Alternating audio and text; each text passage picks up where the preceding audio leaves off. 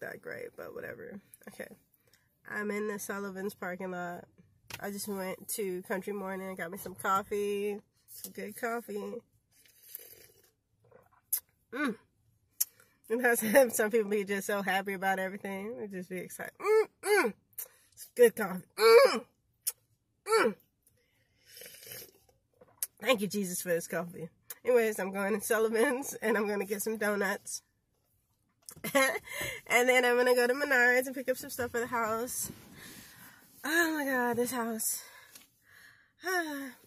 oh, it's spring. It's finally spring, but it's not because it might snow on Monday.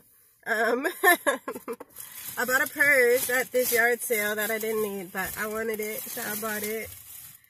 It was $5. It's cute. cute. Oh, black, black. This is my current purse. Gosh, I gotta lose my winter weight.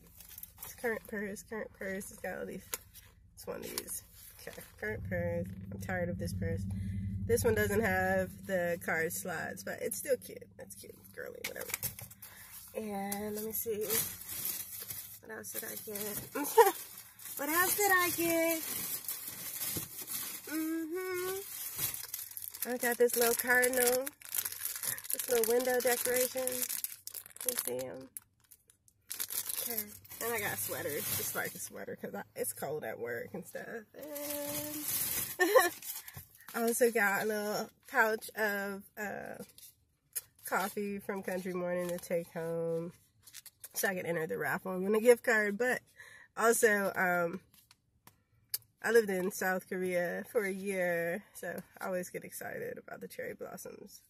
And I love cherry, like cherry pie is my favorite pie. If you ever want to spoil me with some pie, bring me some cherry pie.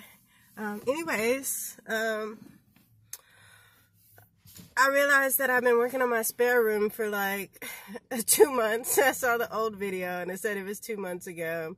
Two months ago, I was peeling wallpaper and it took a long time. I just, it just drags and drags. I really have to work on my commitment. It is mostly painted, but I'm kind of anal about, uh, the spots on the wall because I didn't do a great job of joint compounding. It's probably like my weakness, like doing something smooth. Like I can't draw a straight line. I don't think I could have been a surgeon. Um, that type of stuff.